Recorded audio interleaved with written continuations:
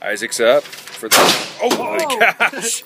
Well, well ah, I'm getting out of here. All right, all right, all right, all right, all right, all right. So here's a short story.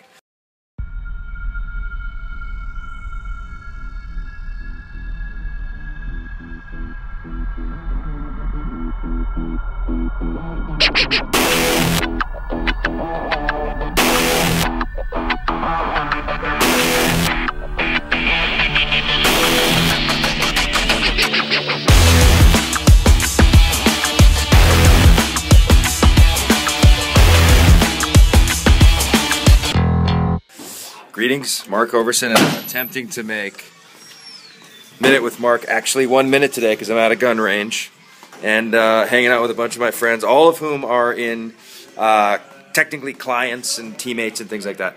But here's the thought of the day. As you saw, Isaac was taking off and shooting the gun.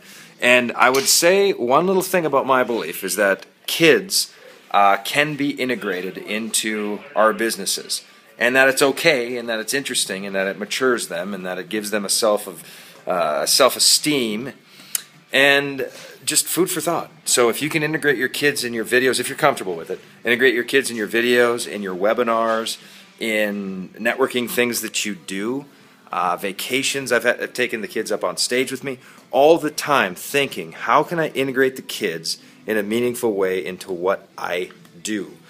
So Mark Hoverson from the gun range somewhere in Tempe, and we're having a blast. Peace.